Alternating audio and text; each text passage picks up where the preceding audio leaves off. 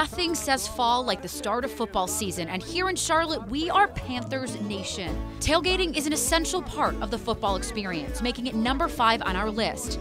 Fans hit Mint Street with a Bojangles box and their favorite Queen City beer as early as 9 a.m. Don't have a ticket to the game? Check out one of the bars around the stadium, like Draft or fan favorite, the Coca Cola Doghouse. Charlotte is known for its unique flair and traditions, and the Great Elizabeth Pumpkin Wall is no different.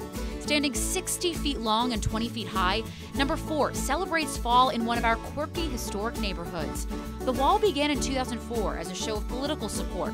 The goal was to create the city's biggest yard sign. Today, the Elizabeth neighborhood and beyond brings hundreds of jack o' lanterns to don the wall.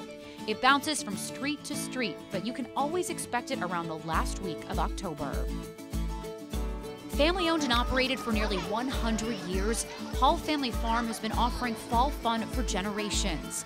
Today, the farm is nestled in Ballantyne and provides all your fall necessities in one stop.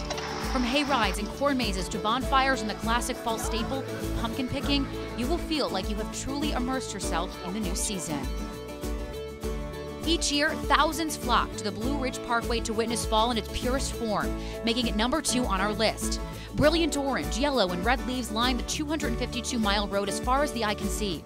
Whether you're hiking, biking, or driving, the parkway provides breathtaking views of all your favorite fall colors. If you're feeling more adventurous, take in the view from new heights, zip lining, or even a hot air balloon. Every fall bucket list should include a trip to the apple orchard, making Windy Hill Orchard and Cider Mill the perfect stop.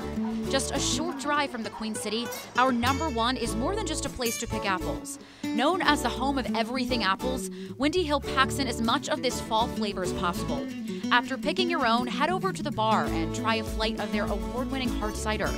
And your trip is not complete without grabbing a fresh hot apple cider donut or two.